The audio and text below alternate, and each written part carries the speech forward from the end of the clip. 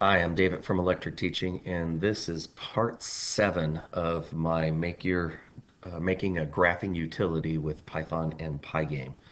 When we last left, I was talking about Python crashing often, and I don't think I've solved that problem completely, but I did find, I did play around, and I think I've got something where I minimize the errors, especially when we make it into an executable. So before I show you how to uh, make the function, make the program work a little bit better. Let me show you an actual executable that I've made.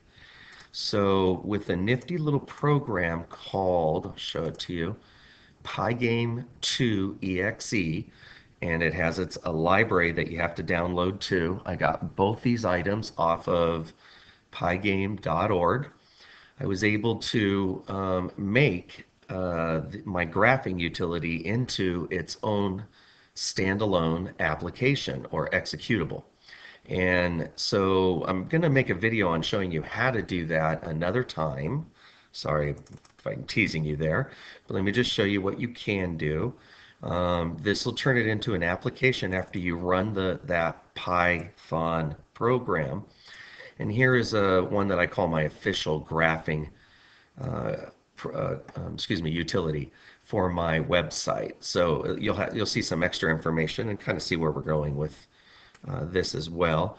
The equation is going to be like slightly off the screen. Let me just throw in y equal x. And then let me quit the program and you'll see it runs cleanly. I had no errors on the screen. And so this application actually ran my graph and had no errors. And that was because I've added this system exit command. So when we last left, I said add the library system. But what we also need to do is go to the my main function, my main function, or excuse me, my main, yeah, my main uh, function. And right at the bottom of it, we need to put in this command. I'm actually got part of it here. sys dot exit and then parentheses open close because it is a function.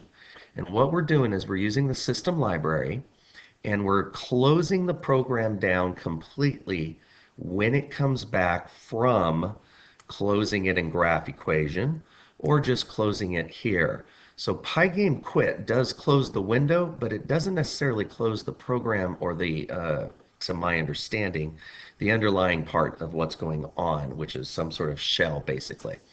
So putting the system exit will hopefully minimize the problems we're having. Okay, today we're going to do on part seven, we want to add in some uh, ability to regraph um, from that one screen and to add some resizing if we get lucky all the way to resizing the screen. So let's get started. Let's come down to uh, where we're in the graph equation, so a little bit lower than this. And I immediately want to put in some information like a title, which we don't have, and then the ability to start the, a new graph, which will help with testing purposes as well. So I'm going to scroll back up and I'm going to grab where I've already done the blitting of my title. So I'm going to copy this. Might as well copy actually the comment as well. So I'm going to copy that and I'm going to come down to my graph equation. So before, right after it graphs the equation, before we get in its active loop, so right about here, we're going to paste in the same title information. Make sure it's correctly tabbed. Yes, it is. All right, let's go grab the re um, starting a new equation line. So right here, um, I'm going to borrow this one, but I'm not going to say uh, select when done, and I'm going to put it at a different location. So I'm not going to say select enter, I'll move that part. So I'm copying the instruction, mainly what I need here is the instruction to start a new graph, which is hitting the Q key. So let's may delete the extra nonsense here. Okay, select Q to start over. That's a perfect thing to say. And actually what I do, what I, where I really prefer this is obviously closer to the top here. So closer to the top here. So let's put in um, Q start over right after the title. Oh, we had the other one about 70 pixels off the top. So I think we can go from there and, and hopefully that'll be the right size for everybody. Everybody might have a different width and height to personalize theirs. So I have to keep that in mind when I make these instructions blitted on the screen. So that should do that. I'm going to add in another instruction blit. So actually, let's just paste this one in. And what I'm going to do is change this. I'm going to add in a nifty little thing called um, uh, blitting the y-intercept information. Blitting the y-intercept information. I think the y-intercept is an important part of mathematics. It is the initial point, often the starting point in a lot of word problems. So the y intercept, we're going to blit the information and then we're going to create the variable for it here. The y-intercept is at, and what I'm going to do is put um, parentheses 0x, whoops, 0x, comma, and now be outside the quote, but before the comma separated part, plus I'm going to put a string, string command, to take a variable and turn it into a text object to be displayed, you need to make it into a string, which is str. And what we're going to do is do yint, and I'm going to make this yint in a minute here. And then to make it look right, we're going to have to close off the parentheses xy notation. So I'm going to add another item here, and it's in quotes. I'm going to add, let's see, just to close parentheses, all I need. All right, oops, that's zero, not close parentheses. All right, that should look good. Uh, the black, the font, I think all that should be fine. I could change this color later, but we'll leave it black for now. And let's see, where do we want it? We could have this one sitting at 100. That should seem about right, so we'll leave that there. So before we do this, we have to make some room, and let's put in a new comment here. We have to calculate, calculate. So we need to calculate the y-intercept. To do this, let's put a little comment. We'll say compute and display uh, y-intercept. I probably should put a dash in there. I think that's more appropriate for y-intercept. Most textbooks would have that, so let's go ahead and put that in down below here and make it look a little classy. Just in case you want to make this into an app and make some money off of it. Um, let's see. We're going to do x equal 0, x equals 0. Obviously, that is the x coordinate for the y-intercept. And this is important. For domain errors, I can't have it crashing on, say, 1 over x, trying to get the y-intercept of there. So this is where we use, again, the try command. Nifty Python trick, try. y-int is going to be equal to, we're going to evaluate the equation the equation which we have passed into here and we're using up here and this equation is that whatever equation we've typed in and the x value that it's going to be plugging and chugging is x equals 0 so that should work perfectly. We need to round this off. This could be a very interesting long irrational number depending on square roots etc so what we need to do is we need to use a nice round command. Round parentheses, um, y int, comma, two decimals will be sufficient. Personalize it to the way you want. Always want to put it in except, whether it's important or not for the programming to me is not why I'm doing it. It is, I believe these come like if statements, if this. We always want to have some sort of closure to it in the case of tabbing over or untabbing over. So this closure to me is try with except. And we'll do nothing. Oh, wait a minute. Actually, we want to do something on this one. In fact, let's put it all on one line. Okay, this can go on one line. We actually want to say the y-intercept doesn't exist. So for displaying purposes, again, so it doesn't crash when it hits the line down here and we haven't assigned anything, we need to display maybe DNE, one of my favorites for does not exist. All right, so it will evaluate it. It will put uh, does not exist if it has trouble evaluating it. And it'll display one or the other when it comes to this point. We also would like to display the, the, the command to plot it. I think it would be neat to have a little command to plot it per request for whatever reason. And this will give you an idea what I'm going to do down the road too when it comes to plotting any X values. I think that's going to be another neat way to personalize our our um, uh, graphing utility is to plot things. So what we're going to do is we're going to say if the y-int does not equal, does not equal is a inequalities facing each other, okay? So uh, that is a less than into a uh, greater than. We read those left to right in mathematics.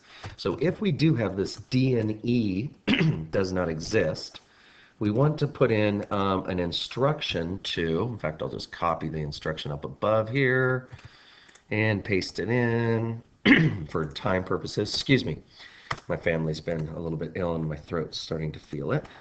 Okay, instruct. We want to say select the Y key to uh, plot it. So I'll just say exactly that. Select um, Y to plot the intercept.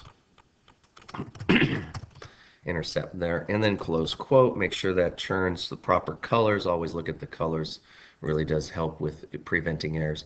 We're going to nest this one inside a little bit of the width plus 10 so let's go width plus 20 so it's more of outline form and let's scoot this down 20 pixels because I think that should give it enough room. If not we'll check it but I want it to be a little closer than the other text I'm blocking around it. Okay so if it does not exist is not the case. So if it's not this, it'll show up with this um, uh, instruction to plot. Now we just need to put the commands in. We need to put the commands in for uh, plotting these. And so we're going to come down here, and we also need to put the commands to start over and a handful of others. So for that reason, I'm going to copy some of the commands from above. For instance, this else if statement. Actually, I think I can type that in real quick. And I think I'll type it in real quick. So long as you can type fast, this shouldn't take but a second. Else, um, let's give us a little comment here. We are putting in commands for starting over and other features which we'll add in later. Okay, so let's do this. Um, else if, else if, so elif the event type is a double equal pygame dot all caps key down uh, colon hit return. If the event event excuse me event got to type that in carefully if I'm not going to copy and paste it here. If the event key is a double equal k underscore first thing I'd like to do is the whole start over thing so let's put in the q so Q's been the command for starting over, and all we're going to do is simply run my main over again. I believe I did it identically above. Else, if the event key, elif event dot key, uh, uh, double equal, so if the key is the k underscore y, then we need to plot. We need to actually plot or draw the circle. So we're going to do the pygame dot draw dot circle screen and color. Let's go ahead and do black for now, and I'll figure out something later if I want to change it. So black for now, and then where to plot it? Well, it's in the width divided by 2. Width divided by 2, that takes me to the center for the x-coordinate and we don't want to go anywhere from there. So comma that is the x-coordinate and then the height divided by 2 so we start at its center. Height divided by 2 and then we need to subtract off because it works in an opposite fashion. We don't want to add. So we want to subtract off the y int that we just calculated star k times the k pixels per grid Make sure you put the close parentheses twice on that. And it looks like I'm going to run out of time for doing the resizing. That'll be my next video. So let's run and see if I've got any errors or if it's working nicely. I want to get this up on the screen. Whoops, lost it there. Hang on. Oh, excuse me. So that you can see it. I think you can see it right now and see everything I'm going to do. So let's put in uh, y equal x to test it real quick. And it did not graph it. I got an error. Let's figure out why. Sorry about that. It was an error that I actually created, but I did find another error that we're going to need to fix. So let me show you a quick graph. Everybody, I'm sure you got something like this if everything went well on your end. But when you hit Q, well, let me hit Y first. So Y had an error when I tried to plot it, and then I'm going to fix that one first. The error it shows me is that it took four arguments, and I think I forgot to give the radius of the draw circle command. So I'm coming way down to the bottom, And over here where I did a um, plot circle command on the Y event key, I forgot to, let me extend this out, put a comma and a radius. Whoops, after the first, after that parentheses, comma, radius. Let's see, uh, three radius should be suffice, maybe four, just slightly bigger than the graph I'm making. So let's run that. You're going to see I have one other error I want to show you. So if I draw X and then hit Y, it does plot it. It is in black. Probably want to change the color of that. We'll do that down the road. But if I hit Q, you'll notice I've got an overlap of text. So let me show you that one. And also, when you close this, it's going to now ask you, do you want to exit altogether? The best way to prevent errors and constantly crashing Python is say, yes, let's exit altogether. And that was that, that system exit that we've added in. I'm going to hit no, so I'm going to take a chance on crashing the system here in a minute, but I want to quickly get this in because I'm at the 15 minute mark. So way up at the top we said fill white. Cut that from the top area. We said fill the screen white. What we want to do is right when we come into the main program, every time it's like a brand new game or a brand new cycle. So I'm going to say clear the screen with a with that command that we just pasted, that we just cut. So screen fill white there. And I believe now everything should be working. Wow, it didn't crash too. Let's put in a fun graph. How about x times sine of x? It's one of my favorite graphs because of the undulations, as I like to say. Um, and if I plot it, it will work. We've tested that. The Q, good. Everything resets and I can type in something else. So now we have the ability to actually run to make several different equations. We're going to do the resizing in our next video, and then after that, we're going to try to put on um, uh, value points, so x equal value points, and then after that, we still have to um, uh, teach you how to put in multiple graphs. And then I think that'll be the uh, conclusion of this series. I'm David from Electric Teaching. I sure hope you're enjoying this.